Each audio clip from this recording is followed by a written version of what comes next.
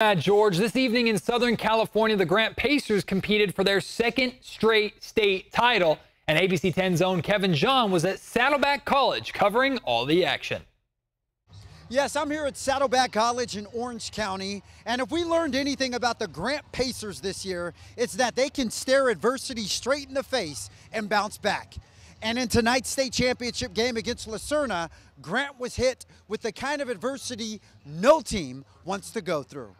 And here they come. The Grant Pacers seeking back-to-back -back state titles.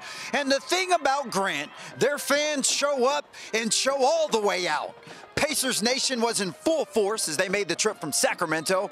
Also, Grant has one of the most funkiest bands in the nation. If you don't know, now you know. The Pacers facing the La Serna Lancers out of Whittier. We'll pick this one up in the first quarter. Pacers in the red zone, and Luke Alexander throws a strike to Kobe Shabazz for the first touchdown of the game. Now we're going to take a quick break from the game to enjoy this beautiful Southern California sunset.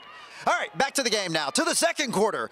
Grant in the red zone. Wayshawn Parker takes the handoff, herbs the word, spins the verb. No diggity, no doubt. Pacers go up 13 to 7 now. Now with just seconds left before the half, this is the play that changed everything. Grant ball, Luke Alexander rolls out, looking for a receiver, doesn't find anyone, so he decides to take off to pick up some yardage, but he gets viciously hit by a defender. Scary moment as Luke lay on the field for about 10 minutes. The good news is that he was okay, but he would not return to the game because of a concussion. Grant trailed 14 to 13 at the half to the fourth quarter now. La Serna with the ball. CJ Cerrone throws this one up for Owen Long and watch the concentration by Long as he juggles this and hangs on to it for the touchdown. La Serna would take a 21 to 13 lead, but here come the Pacers. Later in the quarter, Devin Green takes the handoff and Green standing on business business as he nearly breaks this one for the touchdown. He's brought down around the 25-yard line. A few plays later, Mr. Green finishes the job as he channels his inner Superman and leaps over and gets in for the touchdown. Wow! So now to the play of the game. Grant needs the two-point conversion to tie. Wayshawn Parker takes the handoff, but he stopped just short. And that's how close Grant came to tying the game and potentially securing another state title. The Pacers would fall to La Serna 21 to 19.